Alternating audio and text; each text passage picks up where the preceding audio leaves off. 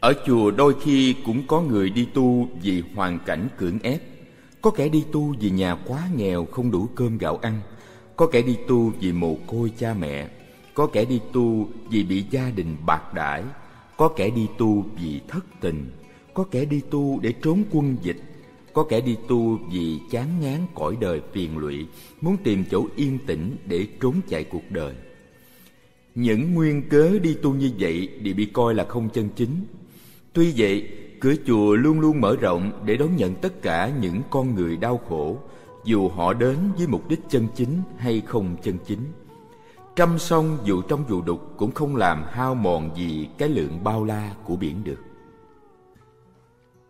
Chú Hòa là một trong những kẻ đi tu vì hoàn cảnh. Hoàn cảnh của chú bi thảm lắm, cho nên khi mẹ chú đem gửi chú ở chùa, thầy trụ trì nhận lời ngay, mà chú cũng vậy, cảm thấy thích ở chùa hơn là theo mẹ đi lang thang, sống nhờ bà con hết nhà này sang nhà khác. Chú nhớ rằng nhà chú trước kia cũng to lớn rộng rãi lắm, có sân có giường, có nhiều cây ăn trái, có chú Hải làm giường, có chị Tám giúp việc, bác Cần tài xế, vân vân. Dinh cơ đồ sộ của ba chú là một trong những ngôi nhà danh tiếng của vùng. Không biết ba chú có làm việc gì cho chính quyền không, Chú chỉ nhớ là mỗi sáng bác Cần lái chiếc xe hơi màu đen đưa ba chú đi làm ở đâu đó, chiều mới về nhà. Thỉnh thoảng có vài ông lính hay mấy ông cảnh sát đến nhà nói chuyện gì với ba chú mà trong họ có vẻ trọng vọng ba chú dữ lắm. Đùng một cái, đêm đó chú bừng thức dậy, nghe nhiều tiếng súng nổ quanh nhà. Một hồi lâu có nhiều người vào nhà chú la hét ôm sòm và cuối cùng bắt trói ba chú lại dẫn đi đâu không biết.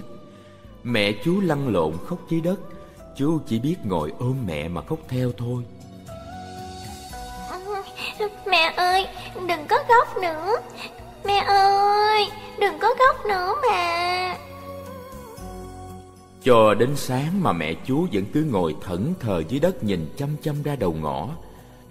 Chị tám giúp việc cho nhà chú nói rằng Đêm qua người ta lấy thóc gạo thức ăn, Đồ dùng trong kho, đem đi đâu hết rồi. Lính ở đâu kéo tới nhà chú đông lắm. Rồi họ nói là sẽ đi kiếm ba chú về. Nhưng mẹ chú và chú nữa Chờ hoài chờ hoài, Mà chẳng thấy ba về bao giờ. Bỗng nhiên một đêm nọ, Chú bừng thức dậy, Thấy mẹ cổng mình chạy. Nhà cửa trong xóm Sao mà cháy dữ dội, Đạn bơm ở đâu mà nổ lông trời nhiều người cũng kéo nhau chạy như mẹ con chú vậy. Và từ đó, mẹ không cổng chú về nhà nữa. Và cũng từ đó, mẹ có vẻ như không còn chờ đợi ba về nữa.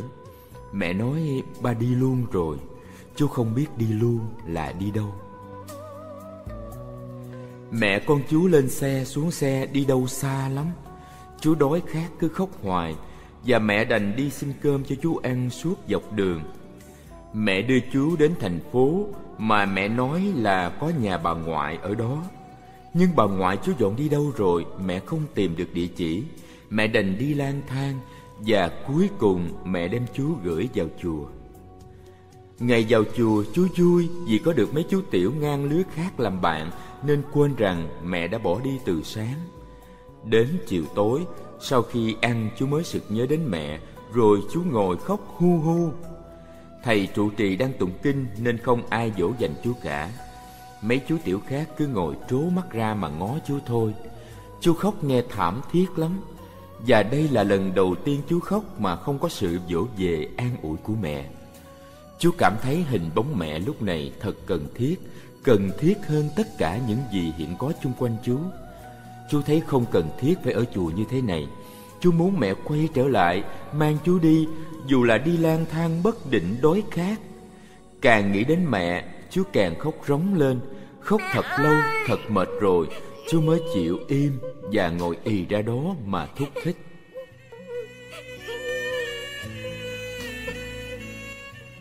Một chú tiểu đến cầm tay chú nói hoài một câu dỗ dành chẳng thêm chẳng bớt một chữ.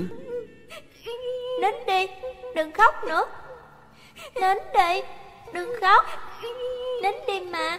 Đừng có khóc nữa. Dù vậy, chú cũng thấy đỡ tuổi đôi chút, Còn hơn là chẳng ai an ủi lời nào.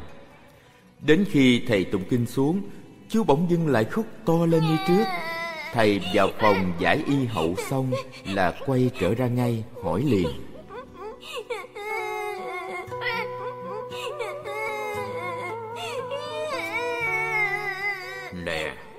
Sao mà khóc trời sầu đất thảm vậy con? Chú không nói gì. Thấy có thầy lưu tâm là chú khóc nhiều hơn. Nước mắt, nước mũi tuôn ra không kềm lại được. Thầy xoa xoa đầu chú dỗ dành. Thôi nín đi Nín đi, Mai mốt mẹ con sẽ trở lại mà. Đó là câu an ủi mà chú đang chờ đợi. Chú nín khe Quẹt mũi một cái rồi hỏi thầy. Mẹ Mẹ con Nói như vậy hả? Ừ Mẹ con sẽ trở lại. Con đừng có khóc Mấy chú kia cười cho. Mấy chú đó cũng như con Đâu có ba má bên cạnh Mà có khóc tiếng nào đâu. Đi tu phải hùng dũng lên Nhất mình là con trai nữa. Chẳng nên khóc như mấy đứa con gái Nghe chưa con Thầy nói chưa hết câu là chú giật mình nhìn lại mấy chú tiểu kia. Chuyện đơn giản vậy mà chú không để ý. Bây giờ mới thấy quê quê. Không nên khóc như vậy. Chẳng anh hùng chút nào. Chú không thể chịu thua mấy chú tiểu kia được.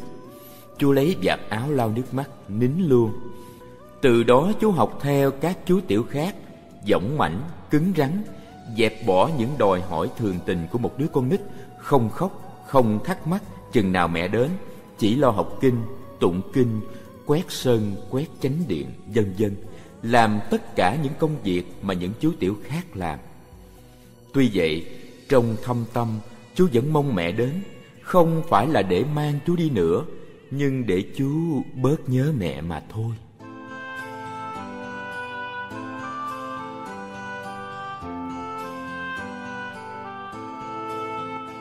Chú Hòa là một đứa trẻ thông minh và có thể nói là có căn tu.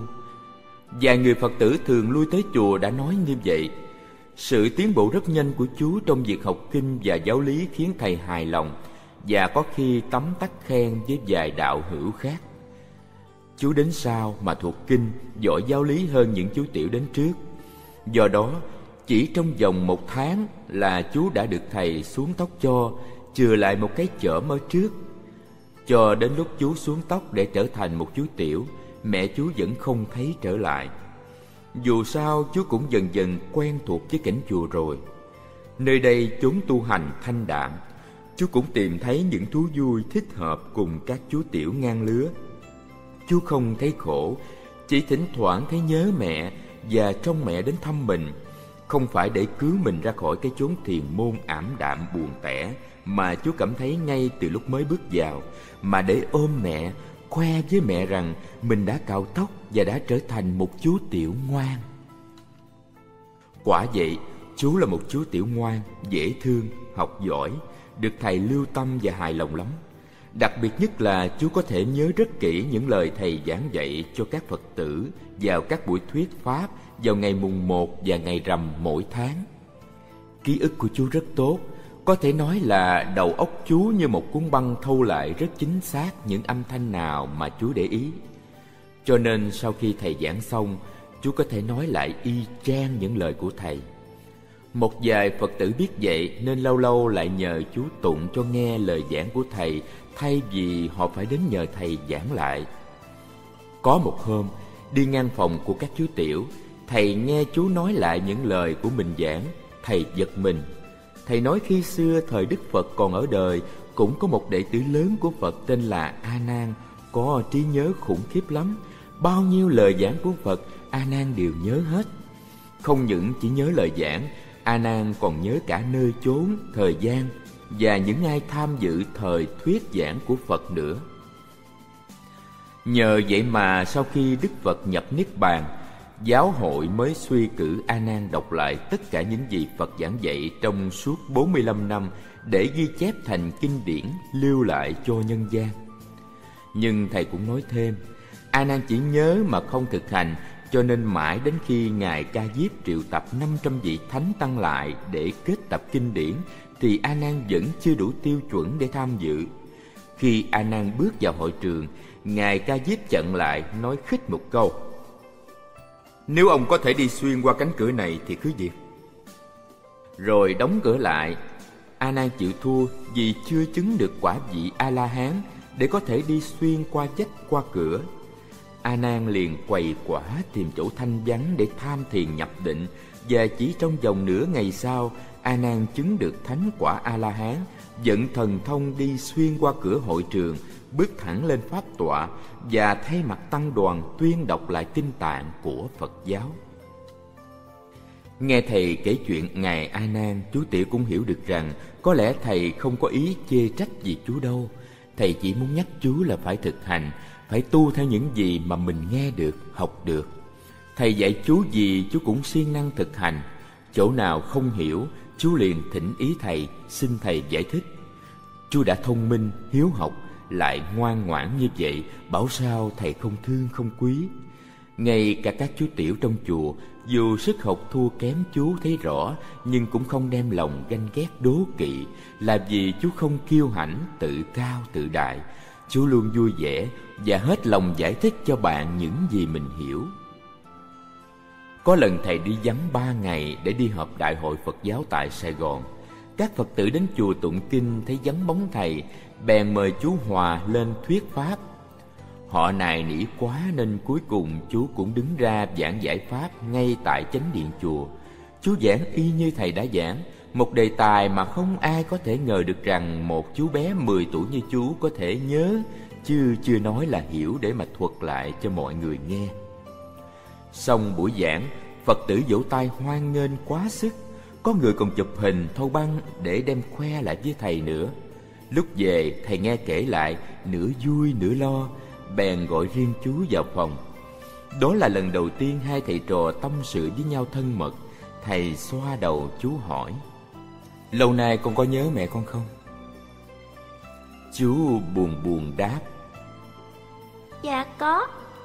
Có lẽ mẹ con đi tìm bà ngoại con chưa ra Mẹ con đang đi kiếm việc làm Dành dụm để nuôi con đó Con đừng có quán trách mẹ con nha Dạ. Mẹ nào cũng thương con hết Nhất là mẹ con. Chỉ có một mình con thì bà thương con vô cùng. Thầy nghĩ có lẽ bà đang bận làm việc ở đâu đó Chưa có thể xin nghỉ để đến thăm con. Chú Hòa rơm rớm nước mắt. Con Con nhớ mẹ Nhưng mà con học kinh Tụng kinh Để khỏi nhớ Con cũng thường cầu nguyện cho mẹ bình an. Để mẹ mau đến thăm con. Mẹ con sẽ đến mà. Con ráng học ráng tu đi. Mẹ con biết con tu học giỏi Thì bà cũng vui mừng lắm. À thầy hỏi thiệt con điều này nhé Chú Hòa ngước mắt lên nhìn thầy chờ đợi. Dạ Thỉnh thầy. Thầy im lặng một lúc rồi mới hỏi nếu ờ, mẹ con trở lại đem con về nhà ngoại con Thì con tính sao? Chú lúng túng Mấy tháng nay vui theo chúng bạn Nương thầy học đạo Sớm tối kinh kệ Tương chao rau dưa Thầy trò chúng bạn Vui dậy với nhau với mái chùa ấm cúng Chú quên khuấy đi rằng có thể có một ngày nào đó mẹ trở lại và đòi đem chú trở về với đời, tiếp tục sống cuộc sống cũ, không có tiếng chuông chùa, không có tiếng kinh kệ và những buổi ngồi thiền niệm Phật, những buổi sáng thầy trò ra giường nhổ cỏ tưới cây. Sống ở chùa mới mấy tháng thôi, chú đã cảm thấy là chú không thể chọn một cuộc sống nào khác hơn, dù là cuộc sống êm đềm với sự chăm sóc của mẹ hiền yêu dấu. Chú thương mẹ chú lắm Và chú biết mẹ rất khổ sở từ khi ba chú bị dẫn đi mất biệt Mẹ rất cần có chú cũng như chú rất cần mẹ. Nhưng cuộc sống ở chùa sao mà hiền hòa dễ thương quá? Nó có một cái gì đó êm nhẹ, lặng lẽ nếu kéo chú Khiến chú không sao tưởng được rằng mình có thể bỏ chùa ra đi được nữa. Chú nói với thầy với giọng băn khoăn, không dứt khoát. Con Con chưa biết con phải làm sao Nhưng mà con thương nhớ mẹ con lắm. Nói đến đó thì nước mắt chú chảy dài trên hai gò má bầu bỉnh. Phải một lúc lâu chú mới nói tiếp. Ừ, Nhưng mà con Con cũng thích ở chùa nữa. Con không muốn xa chùa Con không muốn xa thầy. Thầy cảm động vỗ vai chú cái khó khăn đầu tiên của người xuất gia Là rũ bỏ được tình cảm sâu đậm của gia đình. Mà rồi về sau này, Suốt cuộc đời của người xuất gia Cũng chỉ là một cuộc chiến đấu Để thắng được những tình cảm ràng buộc của thế gian. Con khó xử là phải. Thầy thấy cửa chùa rất thích hợp với con. Nhưng nếu mẹ con cần con Con nên trở về với mẹ để vui lòng bà. Khi nào mẹ con muốn con xuất gia Thì con đến tìm thầy cũng không có muộn đâu phải chi? Phải chi mẹ con ở gần chùa. Còn cứ ở trong chùa, Lúc nào nhớ mẹ Thì chạy về nhà thăm. Thầy cười. Tu vậy đâu có được. Phải dứt khoát con à. Xuất gia là chọn lựa một đời sống mới vô cùng hệ trọng cho tất cả đời mình. Với đời sống cao đẹp đó, Người xuất gia cắt đứt mọi tình cảm thân thuộc để dấn mình vào mục đích tối hậu không thể có được cả hai thứ vừa nhà vừa chùa. Chạy tới chạy lui thì chẳng khác gì chim chuột. Con có biết chim chuột là ý nói gì không? Dạ, bạch thầy, dạ không. Ở trong chùa, chữ chim chuột dùng để chỉ cho những người tu không ra tu Đời không ra đời. Thứ gì cũng thích, cũng không từ bỏ. Gặp khi bất lợi thì bên nào cũng chối chạy Gặp lúc tốt đẹp thì bên nào cũng muốn dự phần. Giống như con dơi khi người ta muốn bắt những loài biết bay như chim Thì nó nói nó thuộc loài chuột Chứ không phải loài chim dù nó biết bay. Nhưng khi người ta bắt chuột thì nó chối Nói rằng nó không phải giống chuột Mà thuộc loài chim biết bay. Ừ, Dạ con hiểu rồi. Cho nên thầy muốn con suy nghĩ trước Chọn lựa trước Để khi mẹ con trở lại Con sẽ biết điều gì nên làm. Dạ. Chú cúi đầu chắp tay cảm ơn thầy rồi lui ra. Chú bước đến cửa Thì thầy gọi lại. Nè con. Dạ thưa thầy gọi con. Thầy vừa nói vừa cười. À Con thực sự muốn xuất gia luôn hả? Dạ con muốn xuất gia. Mẹ con chỉ gửi gắm con nơi đây cho chùa chăm sóc giùm Chứ không phải cho con xuất gia. Nhưng mà con thích Đầu cũng cao rồi nè.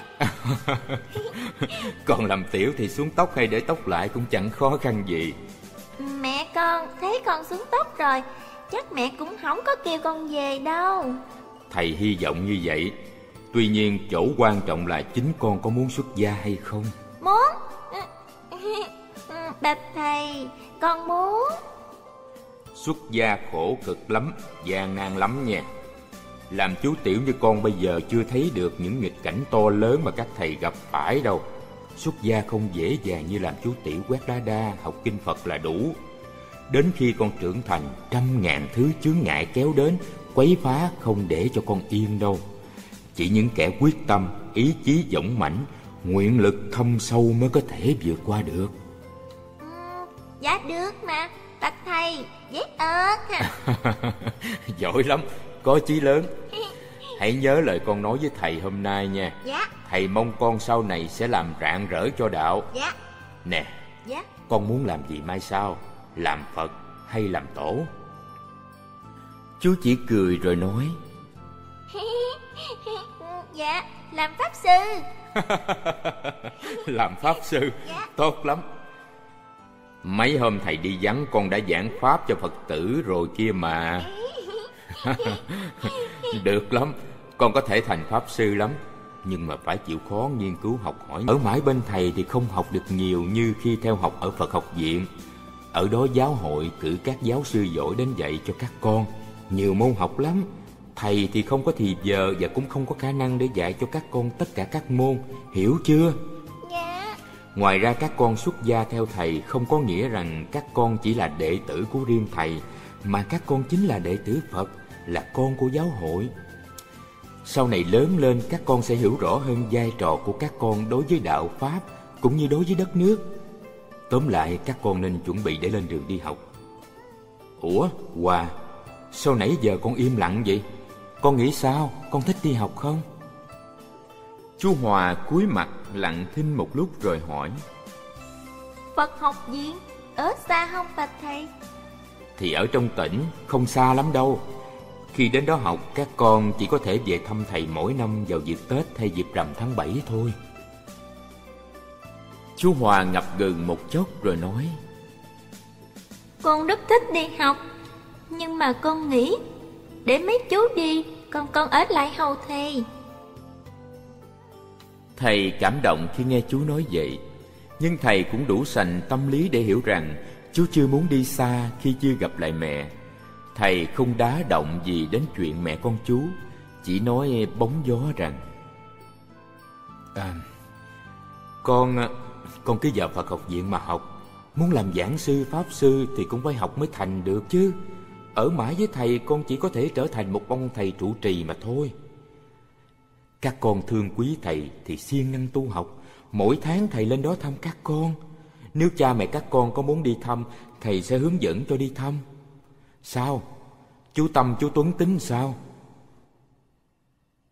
Hai chú kia nhanh nhẩu đáp lời thầy Dạ, dạ chúng con muốn đi học. học Thầy nhìn chú Hòa ôn tồn hỏi Con không thích đi với hai chú ấy hả? Thôi, thầy cho con suy nghĩ lại trong vòng ba bữa nữa rồi trả lời thầy Để thầy ghi danh trước cho các con luôn một lúc Dạ Chú Hòa chỉ khẽ dạ một tiếng nhỏ rồi lui về phòng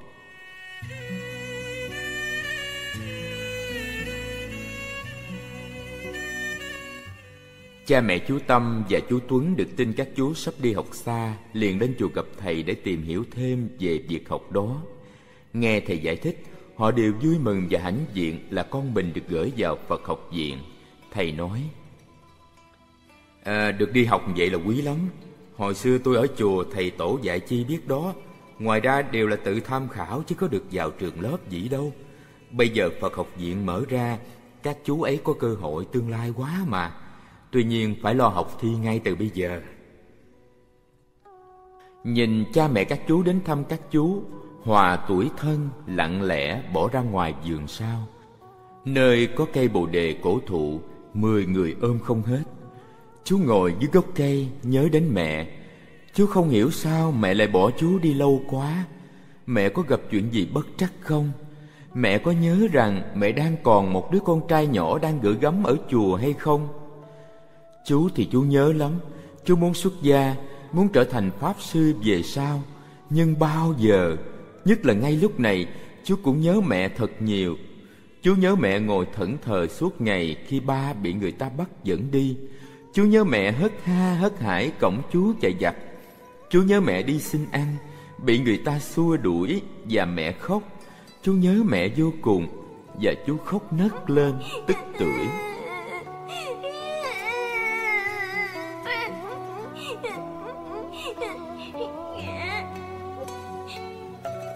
Thay vắng chú Thầy để cho cha mẹ chú Tâm và chú Tuấn tha hồ tâm sự với con của họ. Rồi thầy lặng lẽ đi tìm chú Hòa. Thầy thấy ngay chú dưới gốc cây bồ đề. Thầy bước nhẹ đến, Ngồi xuống bên cạnh chú, Tay xoa đầu, vuốt vuốt cái chởm của chú.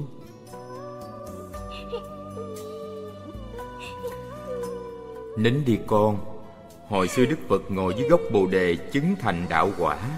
Nay con ngồi dưới gốc bồ đề mà khóc sao?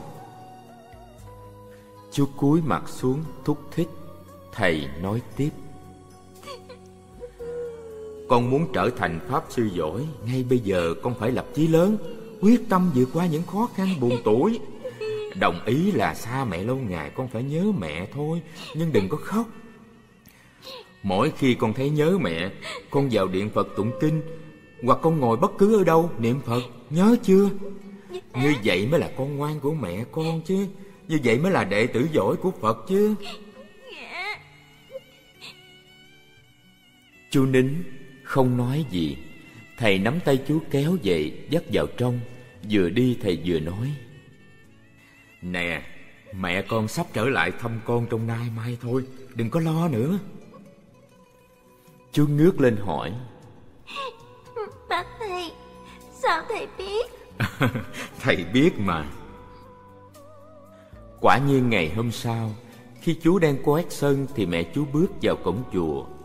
Hai mẹ con nhìn nhau ngập ngừng một chút, rồi chú ném cái chỗ xuống đất chạy ngay đến mẹ. Chú ôm ghì lấy mẹ, gọi mẹ trong giọng nghẹn ngào.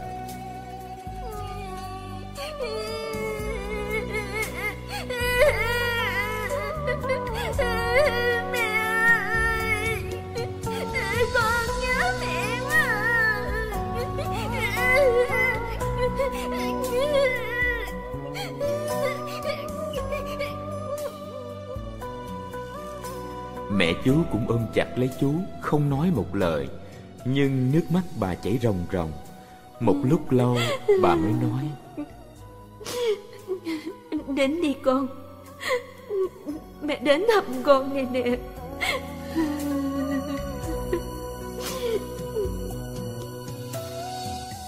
Rồi mẹ xoa đầu chú Nhìn bộ đồ và khách màu nâu của chú đang mặc hỏi rằng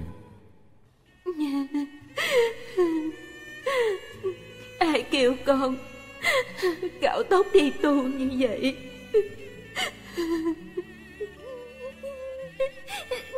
Con Con thích Mà Thầy Thầy cho phép nữa.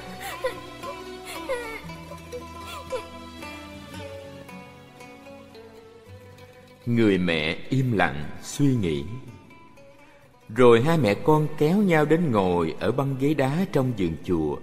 Chú tiếu tích kể chuyện ở chùa cho mẹ nghe. Nào là thầy thương chú và thường an ủi chú Nào là các chú Tâm, chú Tuấn Bạn nào cũng mến chú. Nào là chuyện chú học kinh, tụng kinh, thuyết pháp. Nào là chuyện ăn uống, ngủ nghỉ như thế nào. Nào là chuyện thầy xuống tóc cho chú, vân vân. Rồi đến cả những lần chú nhớ mẹ mà khóc Kể huyên thuyên một hồi Chú sực nhớ lại là chưa hỏi về chuyện của mẹ. Mẹ ngập ngừng một chốc rồi kể tóm tắt cho chú nghe Rằng mẹ đi tìm bà ngoại, Nhưng bà ngoại dọn xuống miền Tây mà chẳng biết là ở tỉnh nào. Mẹ phải hỏi thăm hết chỗ này đến chỗ nọ, Từ bà con đến láng giềng. Cuối cùng mới biết được là bà ngoại dọn xuống Cần Thơ. Mẹ phải xuống đó, rồi nhờ anh cảnh sát khắp các địa phương tìm giúp. Cuối cùng khi tìm ra được nhà bà ngoại thì bà ngoại đang nằm trên giường bệnh. Ông ngoại ghẻ, ba ghẻ của mẹ chú Hòa chết trước đó một tháng. Ngoại buồn quá bệnh theo và nằm liệt giường. Nhờ hàng xóm thương tình thay phiên chăm sóc. May có mẹ về kịp lúc để hầu hạ bà ngoại trước khi mãn đời. Bây giờ căn nhà của ngoại có cả giường tược để lại cho mẹ. Mẹ nhờ hàng xóm trong hộ rồi lên đây rước chú về sống với mẹ dưới đó. Chú nghe mẹ nói thì sửng sốt. Mẹ Mẹ ơi Mẹ rước con đi hả? Ừ, Chứ sao nữa con? Mẹ chỉ con mình con thôi mà Không rước con Thì rước ai chứ? Chú rơm rớm nước mắt. Mẹ Không thích con đi tu hả mẹ Hồi đó Mẹ chỉ đến gửi con Nhờ thầy trông coi một thời gian Để mẹ đi tìm bà ngoại thôi mà. Mẹ đâu có nói là cho con đi tu đâu. Thầy nói Con có cần tu đó mẹ. Thầy còn nói Sau này con sẽ thành pháp sư.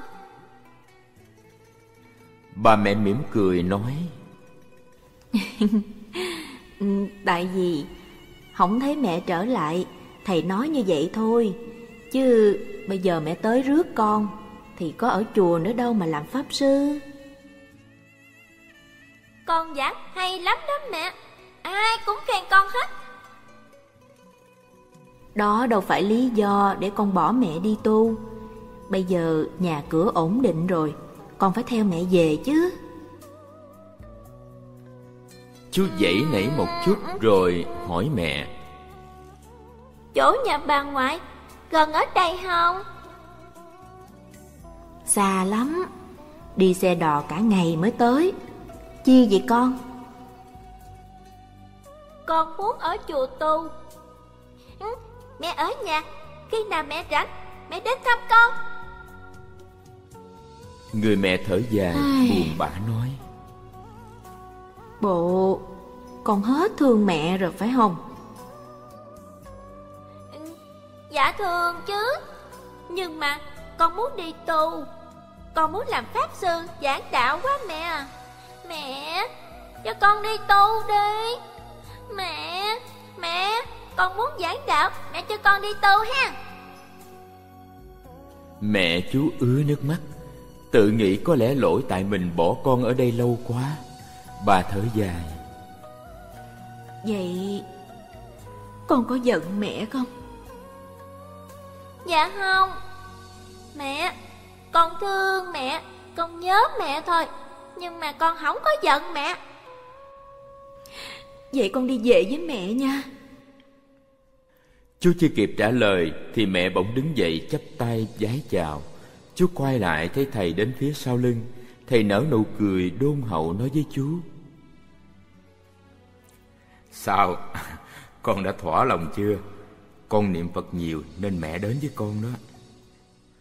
Rồi thầy nói với mẹ chú À, mời bà vào trong phòng khách Chúng ta sẽ bàn về chuyện chú ấy. Dạ. Mẹ chú nói nhỏ Rồi nắm tay chú dắt theo thầy. Thầy ngồi xếp bằng trên trường kỷ Hai mẹ con chú cùng ngồi ở một chiếc ghế dựa rộng ở phía đối diện. Thầy chậm rãi rót trà mời khách xong Rồi hỏi Bà đã tìm được bà thân chưa? Dạ bạch thầy Đã tìm được rồi Nhưng mẹ con cũng vừa mới mất. Vậy sao? Dạ. Ngưng một lúc thầy nói à, Tôi chia buồn cùng bà Và sẽ ghi tên cầu siêu cho bà cụ. Nhìn sang chú Hòa thầy bảo Con ra ngoài chơi với hai chú Tâm và Tuấn Để thầy bàn chuyện với mẹ con một chút ha? Dạ Chú Hòa tần ngần một lúc rồi bái thầy lui ra ngoài. Tâm và Tuấn chờ chú ngoài hiên.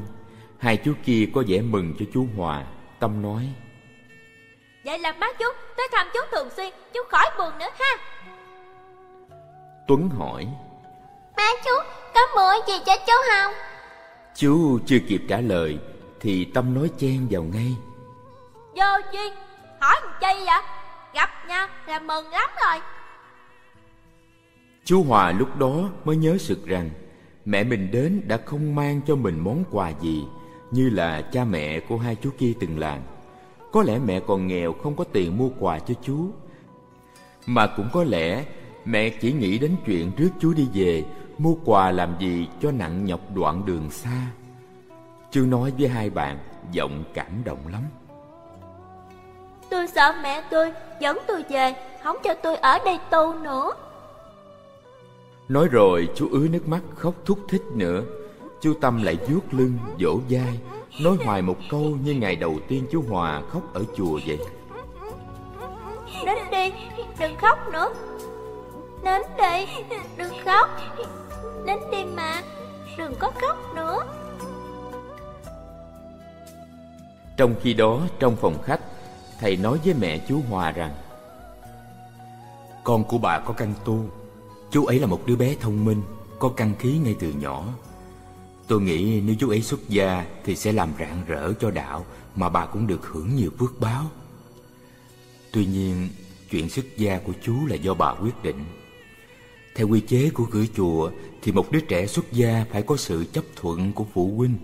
Nếu không có thì việc bất thành. Tôi thấy chưa có đứa bé nào thông minh đặc biệt như chú ấy.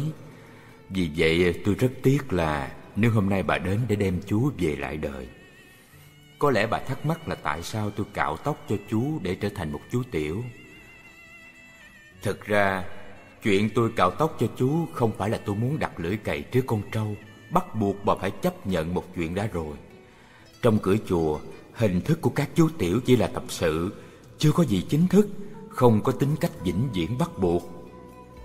Do đó Chú có thể theo bà trở về Mà không có trở ngại trên phương diện kỷ luật hay sở nguyện của chú ấy cả. Trong đạo Phật không bao giờ có tính cách bắt buộc một người phải theo hay bỏ đạo. Ở chùa, Chú Tiểu chỉ là một chú bé tập sự hạnh xuất gia. Thấy tu được thì tiếp tục, Không kham được hoặc vì hoàn cảnh nào mà phải bỏ dở Thì cứ việc đi về. Không có gì rắc rối trở ngại hết. Bà không phải lo ngại. Điều quan trọng là bà nên chọn lựa tương lai của chú Tôi chỉ góp ý thôi và bà là người quyết định. Có điều tôi nhắc lại như đã nói khi nãy rằng nếu xuất gia thì cả chú và bà đều được phước báo lớn. Bản thân chú sẽ là đường cột cho đạo Pháp mai sau. Còn ngược lại... À, thì không có gì cả.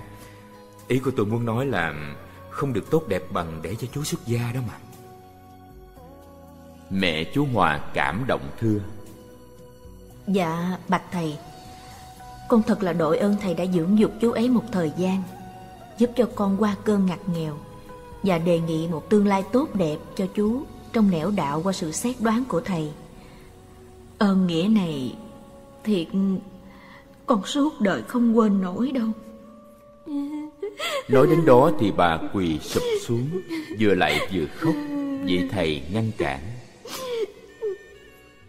Đừng làm vậy mà. Thời buổi loạn ly này, Bao gia đình tan nát đổ vỡ Mọi người gặp kẻ nguy khó, ngặt nghèo, Ai cũng muốn đùm bọc nhau.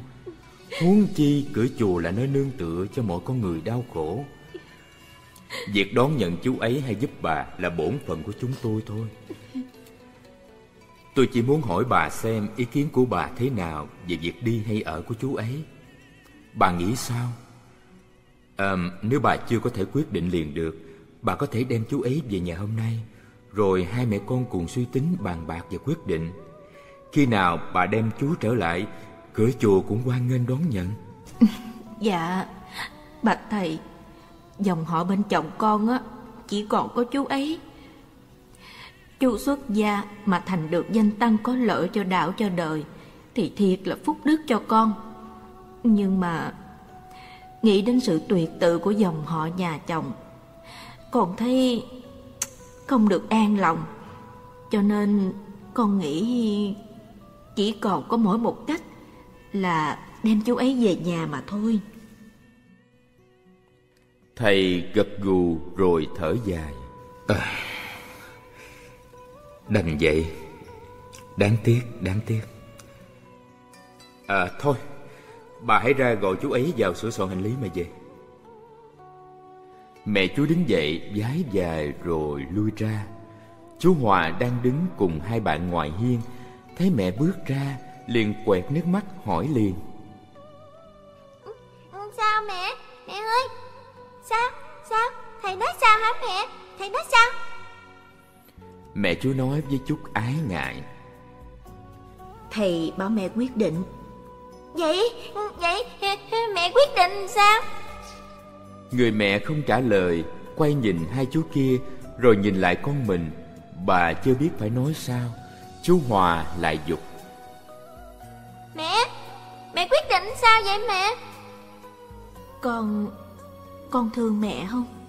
Dạ thương Vậy thì Mẹ ở đâu Con ở đó Có phải không ừ, Dạ phải Sao lại không?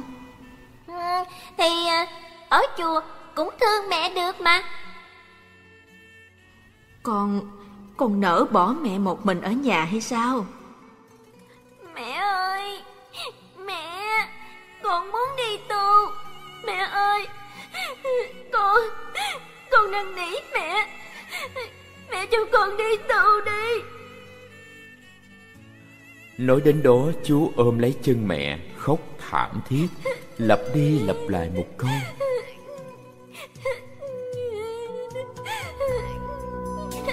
Mẹ Mẹ ơi Con năn nỉ Mẹ Mẹ cho con đi tù đi mẹ ơi.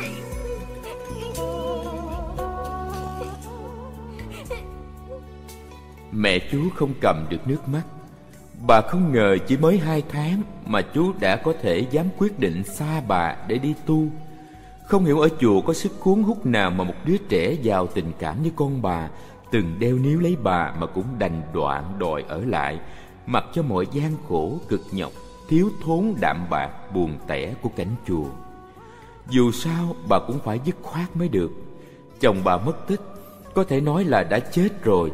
Chỉ còn đứa con trai này phải nuôi dưỡng nó để nói giỏi. Đó là bổn phận duy nhất mà bà có thể làm được để làm vui lòng tộc họ nhà chồng cũng như chính chồng bà nơi chính suối. Bà nói giọng cương quyết. Không Không được. Con phải về với mẹ. Mẹ chỉ có một mình con thôi. Con không biết điều đó hay sao. Mẹ không thể nào thiếu con được. Rồi bà nắm tay chú kéo đi. Chú dục dùng ra Chạy ù vào trong phòng khách, Nơi thầy chú đang còn ngồi xếp bằng trên trường kỷ. Chú quỳ với chân thầy khóc lóc. Bà thầy, Xin thầy đừng đuổi con về. Xin thầy đừng để mẹ đem con về. Thầy nói với mẹ con giùm con đi. Con muốn xuất gia Con muốn làm phép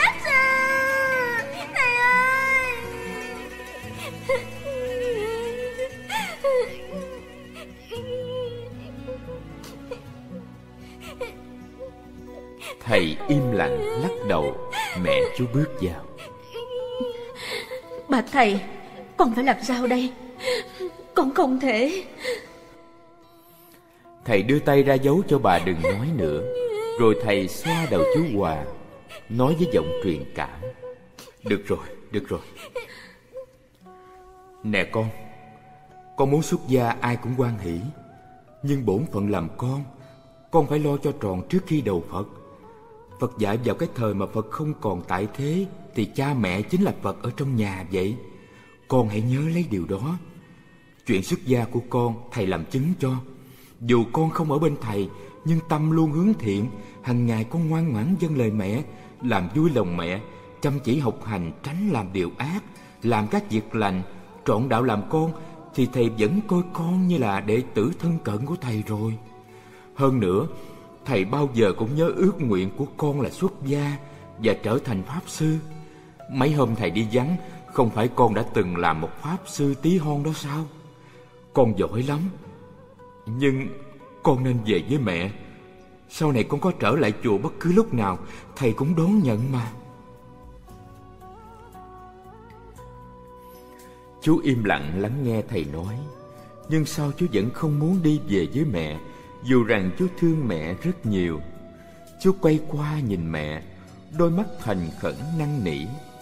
Thầy đưa tay ra dấu cho mẹ chú Bảo cứ về đi. Người mẹ ngập ngừng một lúc Rồi vái chào thầy, bước lui. Vừa bước lui, vừa nói với chú Thôi được, Con thành tâm muốn xuất gia Thì con ở lại hậu thầy. Bây giờ mẹ về đây. Con nhớ. Tu học siêng năng, Đừng phụ lòng thầy, Và cũng không nên làm xấu mặt họ hàng nhà mình nghe con.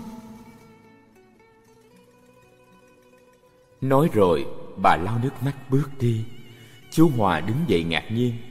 Chú không ngờ cuối cùng chú cũng được mẹ chấp thuận Một cách đơn giản, dễ dàng. Và mẹ đã bỏ chú ở lại để ra về một mình.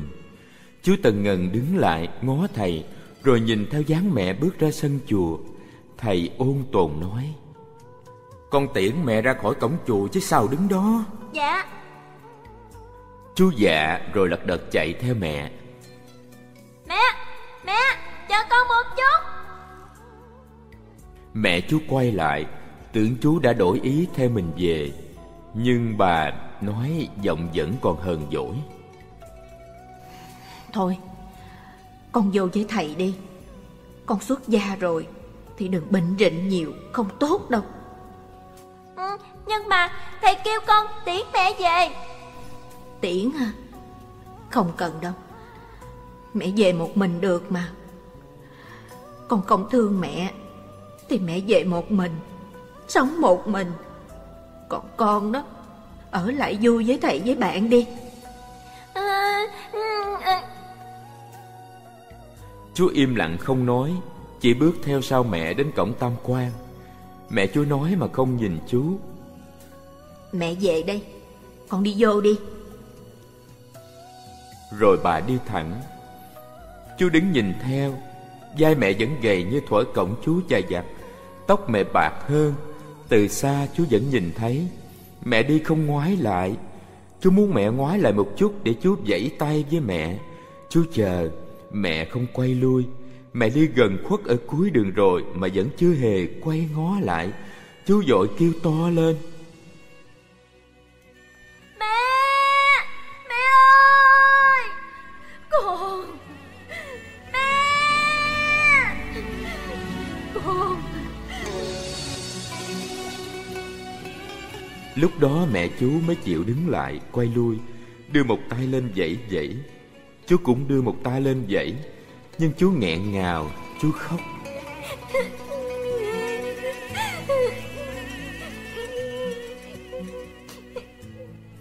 Chú thương mẹ quá Chú thấy tội nghiệp mẹ quá. Mẹ không còn ai bên cạnh. Ông ngoại, bà ngoại đã chết, Ba đã mất tích. Chú đi tu, Thì mẹ chỉ có một mình thui thủi. Chú biết chú không thể bỏ mẹ đi về một mình được. Chú dùng chạy theo mẹ. Mẹ chú đứng ở cuối đường chờ đợi. Hai mẹ con ôm lấy nhau khóc nức nở, Rồi họ đi luôn, Không quay trở lại chùa nữa.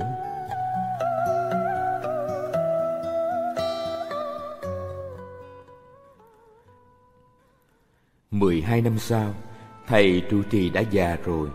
Thầy giao chùa cho chú Tâm coi sóc. Chú Tâm lúc đó cũng đã là một vị đại đức. Tuy còn trẻ nhưng tài giỏi, đức hạnh, Đủ khả năng quán xuyến mọi việc của chùa Chú Tuấn cũng đã thành một vị trụ trì ở một ngôi chùa khác. Thầy trụ trì tĩnh tu trong tịnh thất, Ít tiếp xúc ai. Hôm đó, bỗng có một người lính vào chùa xin gặp thầy trụ trì. Chú Tâm ra tiếp, Người lính nói, Thưa thầy, Tôi muốn gặp vị thầy trụ trì lớn tuổi kia. Chú Tâm hiểu là người lính muốn gặp thầy mình. Dạ thầy đang tĩnh tu không tiếp khách. Anh có việc gì cần nhắn lại không? Chú nói Người lính lưỡng lự một lúc rồi trình bày. Thưa thầy Tôi có người bạn thân cùng đơn vị tác chiến với tôi. Đi trận Anh ấy bị thương nặng Được đưa vào quân y viện. Khi tôi về thăm Thì anh đang hấp hối. Trước khi chết anh chỉ xin tôi giúp anh một ước nguyện Là mang khung ảnh của anh ấy đến đây. Xin thầy cho thờ ở chùa này. Anh ấy nói, anh nhớ chùa lắm, Nhớ thầy và nhớ bạn lắm. Người lính nói đến đó thì xúc động. Ngồi im một lúc rồi lôi trong cái bao giấy lớn ra Một khuôn ảnh lồng kiến trao cho chú Tâm. Chú Tâm nhìn người trong ảnh, Thấy nét mặt quen quen, Chú hỏi người lính. Anh thân với người này lắm hả? Anh ấy tên gì vậy? Dạ tên Nguyễn Đức Hòa Chú Tâm nín thở Nén xúc động Rồi chú ôm khung ảnh vào lòng Người lính bối rối Chú Tâm thở dài hỏi Mẹ anh ấy đâu rồi? Bà ta đã chết khi anh ấy còn ở ngoài trận tuyến Thầy biết bạn tôi hả? À vâng anh ấy là một chú tiểu của chùa này. Anh chờ tôi lên trình thầy tôi rõ. Rồi chú Tâm mang khung ảnh chú Hòa lên tịnh thất của thầy. Nhìn ảnh là thầy biết ngay đó là chú Hòa năm xưa. Chú bé thông minh và tình cảm, Đã từng nhất quyết đòi xuất gia. Nhưng khi tiễn mẹ về, Thì chạy theo mẹ không một lần quay trở lại nữa. Thầy ngắm nghía chú Hòa trong ảnh một lúc, Rồi thầy thở dài nói.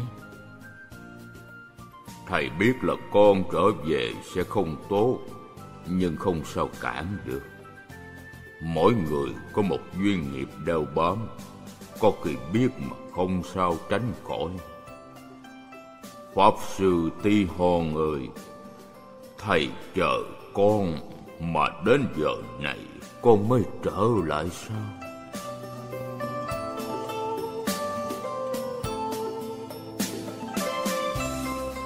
Chú Tâm lui ra Đặt khung ảnh của chú Hòa lên bàn thờ các dông linh.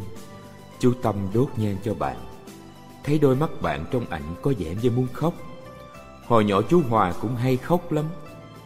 Đôi mắt chú lúc nào cũng ương ướt Bây giờ chú là người lính chiến đã chết trận Da sạm đen, rắn chắc. Nhưng đôi mắt chú vẫn vậy, không thay đổi. Đa cảm, thông minh Và trong sáng như thiên thần. Chú Tâm bùi ngùi nói Nín đi, đừng khóc nữa Pháp sư tí hôn